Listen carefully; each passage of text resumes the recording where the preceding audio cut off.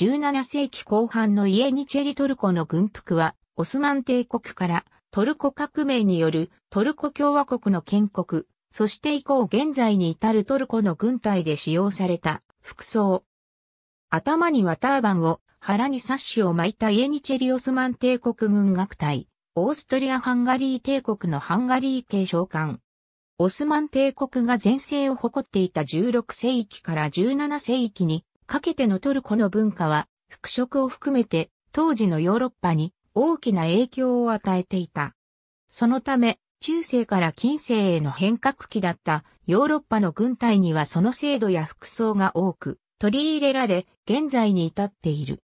20世紀に入り、ロシア帝国が主導する反スラブ主義への対抗から、オスマン帝国はドイツ帝国との提携を強め、第一次世界大戦もドイツオーストリア側に立って参戦した。このことは軍服にも反映し、特に陸軍の軍服には、折襟仕立ての上着、検証、長靴などに、ドイツ軍の影響を強く受けたものが着用されるようになり、また、ドイツ軍が対戦中に開発したヘルメットも導入された。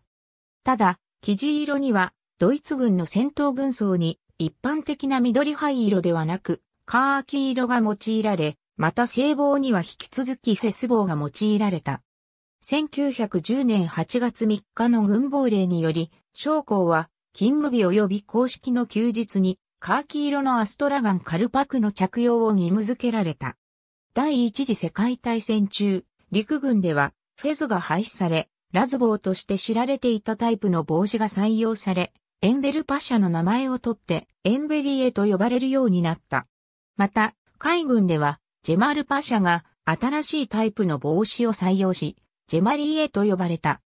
第一次世界大戦後、ムスタファ・ケマル・アタチュルクを指導者とするトルコ革命により、1922年にスルタンイコールカリフ制が廃止されて、オスマン帝国は終焉し、翌23年にトルコ共和国が成立した。このような変革に伴い、かつて洋式軍政、軍服の導入に伴って、ターバンにとって変わる形で導入された、フェス帽は、軍服においては、世界各国と共通のつば付きの軍帽にとって変わられたのである。軍帽以外の点については、トルコ共和国の軍服は、建国当初はオスマン帝国時代末期の傾向を引き継いで、上着の折り襟仕立て、検証、長靴等にドイツ軍の影響をとどめていた。